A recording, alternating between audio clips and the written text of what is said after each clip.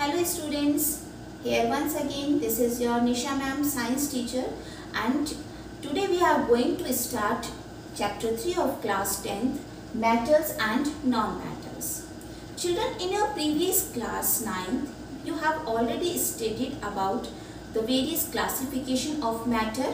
On the basis of state matter can be divided into three states solid liquid and gaseous form plasma and Bose-Einstein also Whereas if we divide matter on the basis of their chemical properties, matter is of two types, pure substances and impure substances. Pure substances are further divided into two categories, elements and compounds. The basic proper basic structure of element is they are made up of similar kind of atoms, whereas compounds they are made up of similar kind of molecules. Okay, and elements 118 elements are found in nature which are further divided into three categories metals, non-metals and metalloid. So in this chapter we will discuss about the physical and chemical properties of metals and non-metals as well as how can we extract metals from ore or how can we extract metal from mines. Okay? So this is all about the outline of this chapter let us start this chapter with the first point, first topic that is physical properties. First physical property of matter that when we see any of the substance we have to see its state. अगर हम किसी भी चीज़ को first time देखते हैं तो हम उसकी फ़िज़िकल स्टेट देखते हैं metals are generally solid at room temperature children किसी भी सब्सटेंस की फ़िज़िकल स्टेट को रूम सब टेम्परेचर पर ही डिटरमाइन किया जाता है। तो मेटल्स जो हैं, वो रूम टेम्परेचर पे सॉलिड स्टेट में प्रेजेंट होते हैं। Exception of this property is mercury and gallium mercury which is use in thermometer और ये लिक्विड स्टेट में प्रेजेंट होता है रूम टेम्परेचर पर। जबकि गैलियम और caesium one more is matter that is caesium also these two metals have very low melting point it means अगर हम उनको अपने पाम पर रखते हैं तो ये मेल्ट होना स्टार्ट कर देते हैं इनका melting point near about room temperature ही होता है so these are the exceptions of physical state of matter. Now second is non-matter. Non-metals are found in all three states. All three states means they are found in solid state. Example carbon, phosphorus, sulfur they may be in the liquid state example is bromine bromine is only one non-metal which is found in liquid state okay so here we have two exception mercury in the category of metals and bromine in the category of non-metal which is the only non-metal जो room temperature पर liquid state में होता है and Example of gaseous non-metals are all gases, hydrogen, nitrogen, oxygen, fluorine, chlorine. All these are found in gaseous state. Now come to the second property. Metals are generally hard in nature. If they are solid at room temperature, so we can obviously think about that they are hard in nature. Exception of this uh, property is mercury, liquid metal, potassium and sodium, these two metals can be easily cut with knife. ये वो soft metals हैं जिनको हम knife की help से काट सकते हैं। अब हम बात करते हैं गैलियम और सीजियम की। तो गैलियम और सीजियम का क्योंकि मेल्टिंग पॉइंट बहुत ही कम है तो obviously these are also soft metals in case of non metals non metals as you already know that they are found in all three state को solid liquid और gaseous तीनों state में present होते हैं इस कारण से non metals nature में soft होते हैं next is malleability what is the meaning of malleability children you need to define this term these terms when we apply a force on any substance and we are able to convert that substance into thin sheets this property is called as malleability अगर किसी भी substance पर force apply करने से वो thin sheets में convert हो सके तो उस प्रॉपर्टी को हम कहते हैं malleability exception of this category potassium sodium as we have already discuss कि हम इन दोनों मेटल्स को नाइफ की हेल्प से काट सकते हैं। Zinc is non malleable the reason is only that one zinc has some of the exceptional properties. And mercury is already found in liquid state. Now children here i just want to explain one more point that zinc and mercury they are absolutely non malleable but sodium and potassium they show malleability up to some extent. Up to some extent. Now in case of non-metals they are non-malleable because we cannot convert any gas into thin sheet or liquid into thin sheets so these are non-malleable in nature ductile ductility is the property by which we are able to drawn thin wires from any substance अगर आप किसी भी substance को stretch करो और उससे आप thin wires बना सकते हो तो उस property को हम कहते हैं ductility. Metals are ductile in nature. Exception sodium potassium zinc and mercury these two properties are inter related ये को रिलेट करती है और इसीलिए इनके एक्सेप्शन भी ऑलमोस्ट सेम है.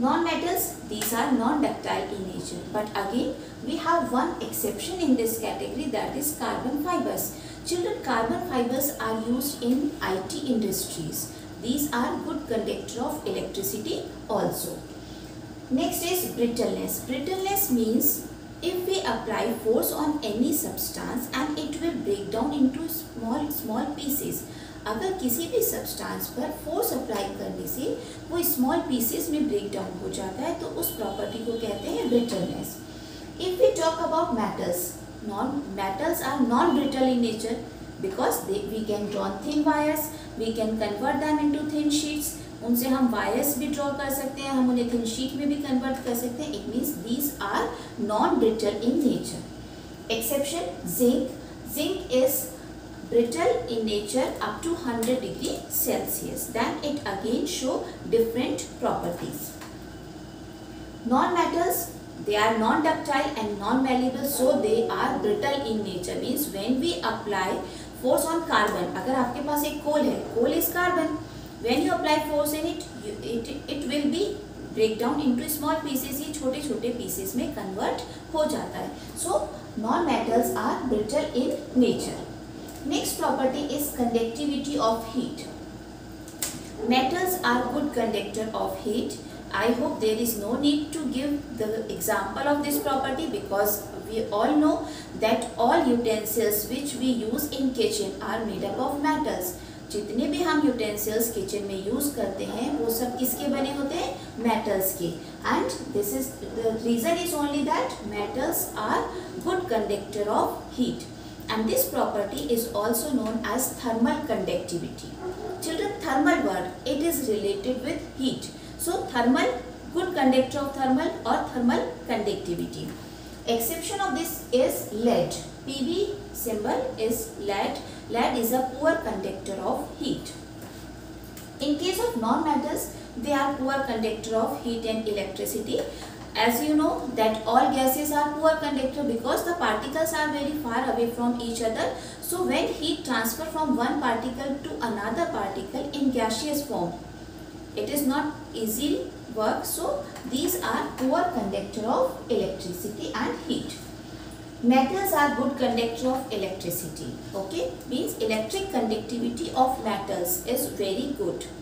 Copper wire, gold sorry gold wire we do not use in electric fitting copper wire then aluminium wires these are the good conductor and here children uh, silver is best conductor of electricity silver is the best conductor of electricity but why we do not use silver in electric electric fitting the reason is only that it is most costly metal okay so we are not able to afford the wires of silver. Silver best electric conductor metal है conductivity की अगर हम बात करें तो tungsten एक ऐसा metal है जिसकी कंडक्टिविटी बहुत पुअर है but still in previous some of the some years ago tungsten जो है, वो बल्ब के फिलामेंट में काम में आता है। यानी जो बल्ब अपन यूज़ करते हैं, उसका फिलामेंट किसका बना होता है?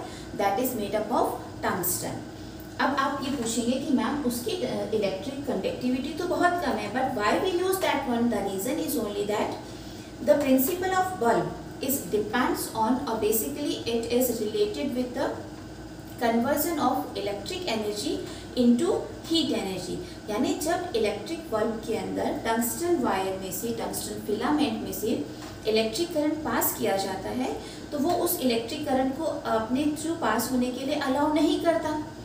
बिकॉज़ उसकी इलेक्ट्रिक कंडक्टिविटी बहुत पुअर है। तो जो इलेक्ट्रिक करंट उसके अंदर एंटर होता है, वो इलेक्ट्रिक एनर्जी कन्वर्ट हो जाती है आपकी हीट एनर्जी में।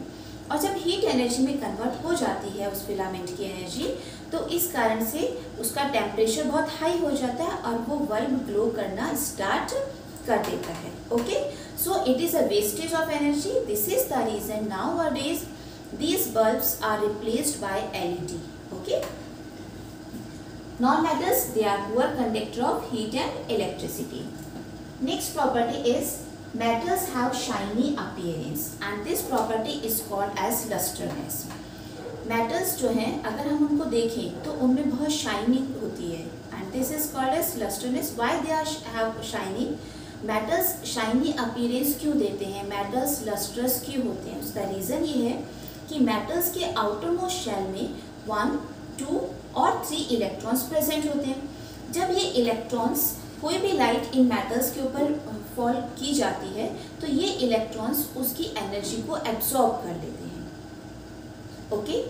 आप इसको इस तरह से समझिए कि मेटल की एक शीट है, उसमें फ्री इलेक्ट्रॉन्स प्रेजेंट हैं। क्यों फ्री इलेक्ट्रॉन्स क्यों प्रेजेंट है? क्योंकि मेटल्स के आउटर मोस्ट शेल में वन टू या थ्री इलेक्ट्रॉन है।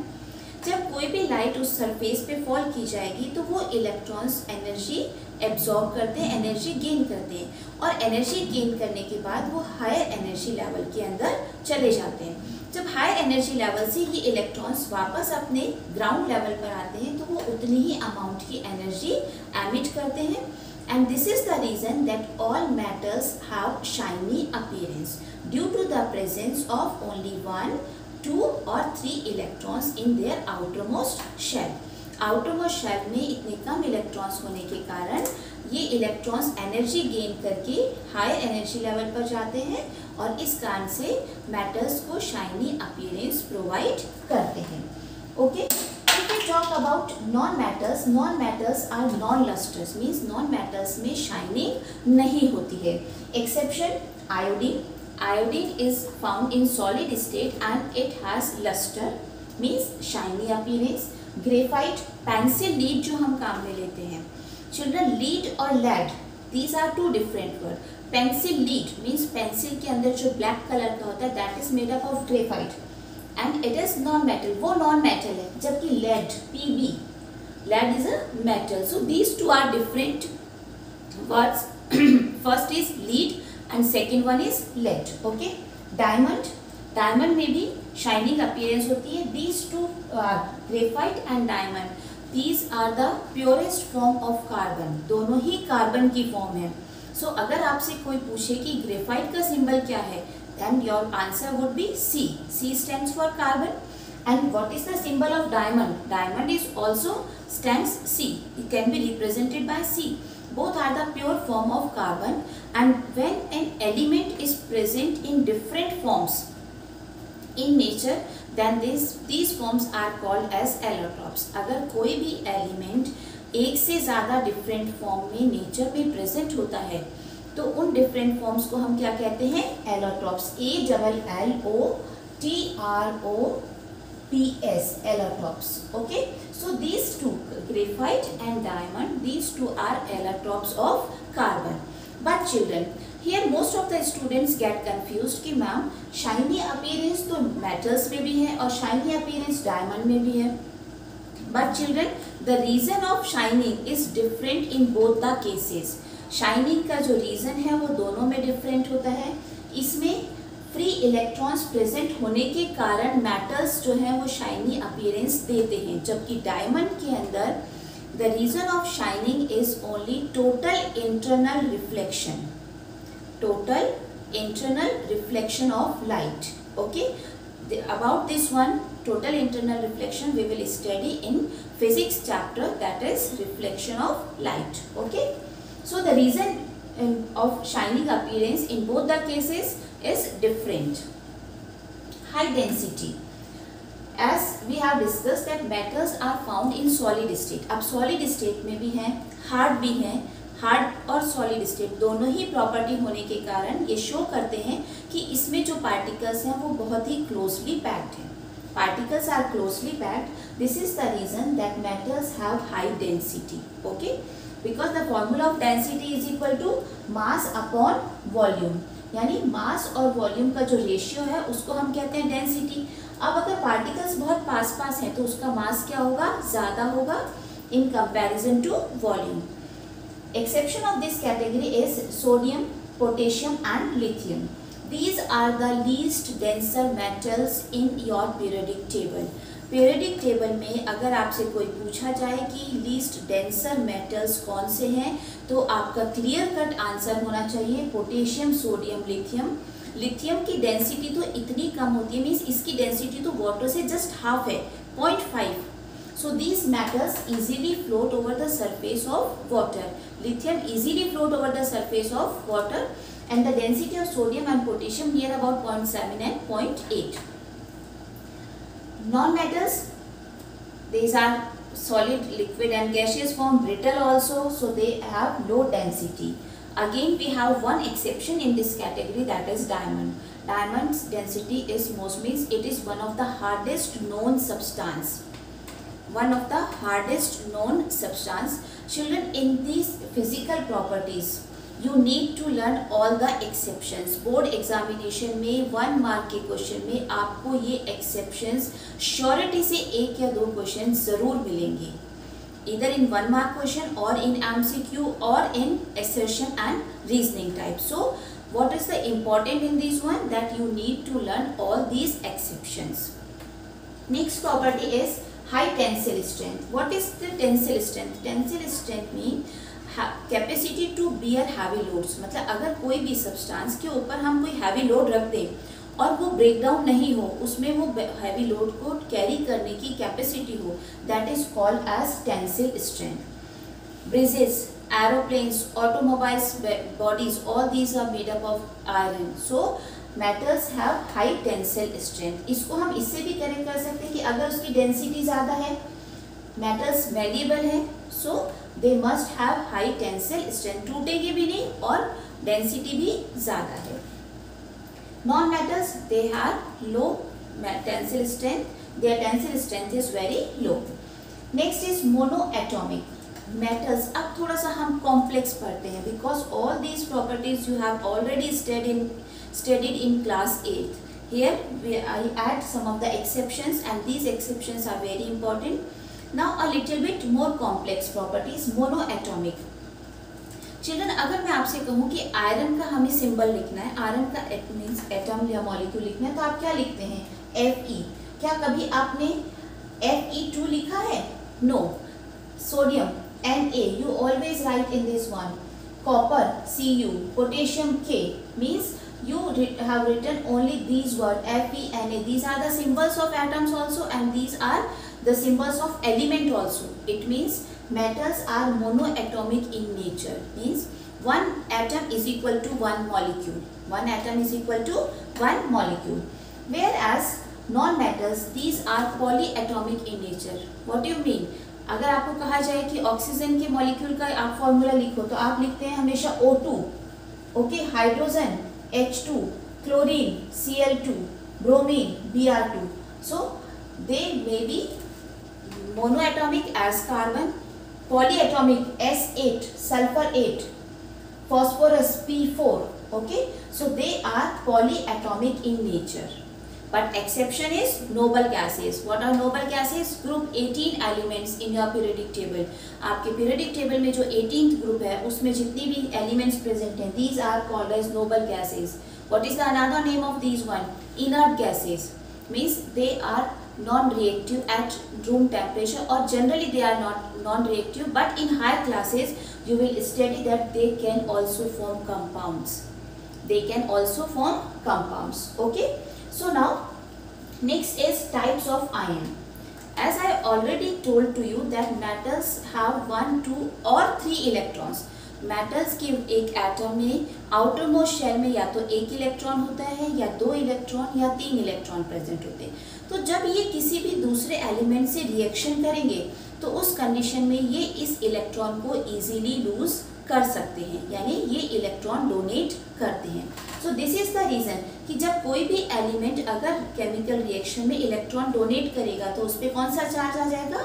Positive charge so these are electropositive in nature okay and second one is what what type of ions they form they form cations cations means positive ions cations means positive ions they form only positive ions if we talk about non-metals they always forms anions anions means non-metals के outermost shell में five six और seven electrons generally ये present होते हैं noble gases they have uh, shell completely filled octet इनका completely filled होता है okay? And rest of the non metals पाँच छः या सात इलेक्ट्रॉन प्रेजेंट है। अगर इनके आउटर मोस्ट शेल में इतने इलेक्ट्रॉन प्रेजेंट है तो जब ये केमिकल रिएक्शन करेंगे दूसरे एलिमेंट से तो ये इलेक्ट्रॉन गेन करेंगे या लूज करेंगे? Obviously to fulfil the octet they always gain electron वो हमेशा इलेक्ट्रॉन लेते हैं। Is the reason they always form negative ions and what is the name of negative ion negative ion को हम क्या कहते हैं? Anions So non-metals are electronegative in nature. Last but not least property is metallic oxide. जब metal oxygen से react करते हैं तो ऑब्वियसली मेटेलिक ऑक्साइड फॉर्म करते हैं। And metallic oxides are basic in nature what do you mean by metallic oxides are basic in nature आपने magnesium ribbon लिया, उसे बर्न किया magnesium oxide is form when and magnesium oxide we found in a white color ash. White color ash में हमें magnesium oxide मिलता है। अगर हम इस मैग्नीशियम ऑक्साइड को वाटर में डिजोल्व करें और उस सॉल्यूशन में red litmus paper because basic red litmus paper dip करेंगे तो वो किसमें कन्वर्ट हो जाएगा? ब्लू लिटमस पेपर के अंदर. It means metallic oxides are basic in nature but here again we have some of the exception chromium oxide C R O three second is manganese oxide M N two O seven are acidic in nature children again I am telling you that you need to learn each and every exception of physical properties okay so these one chromium oxide and manganese oxide these are acidic in nature and one more exception aluminium zinc and lead these three metals are amphoteric in nature What do you mean by amphoteric? Amphoteric means these matters can be react with acid as well as base. ये acidic behaviour भी show करेंगे और ये basic behaviour भी show करेंगे so these three are amphoteric in nature amphoteric means ampho means dry nature जो acidic भी है और जो बेसिक भी है। Now non metallic oxides are acidic in nature non metallic oxides जो हैं, वो एसिडिक होते हैं। Carbon dioxide plus water carbonic acid sulphur dioxide plus water sulphuric acid nitrogen oxide plus water, nitric acid. It means all these are acids, oxides, acids.